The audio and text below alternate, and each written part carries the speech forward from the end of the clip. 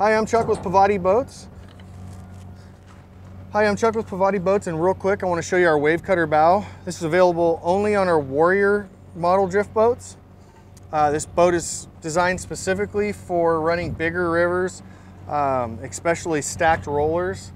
Uh, what you have here, the idea behind the wave cutter bow is here's your traditional line from here to here on a drift boat. What we've actually done is cut this out and made a sharp point. So this doesn't actually stick out any further than your traditional drift boat bow-wise. We've actually done a cut out. So anything you would hit with this, um, you would hit with a traditional drift boat and it does, it's not gonna hurt anything. You're not gonna break it off. This thing is solid. It's a billet piece of aluminum underneath this Kevlar right here.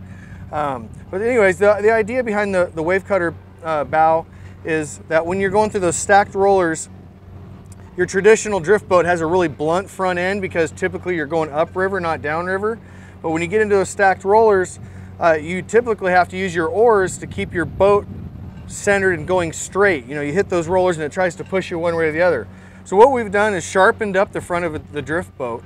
And so really all you have to do when you've got a big rapid coming up is you just center your boat, point it where you want to go, and let the boat do the work. It cuts those waves like a hot knife through butter. It really works. Uh, the other 99% of the time, it's about 12 inches out of the water, just looking pretty, not doing anything. Um, but that's the idea behind the wave cutter bow. It really works. We have our traditional, uh, a more traditional bow option on a Guardian Legacy. Um, but if you uh, are running into big, if you're into running big whitewater and you like the looks of the Warrior, I'd highly suggest uh, going with the, the Warrior bow.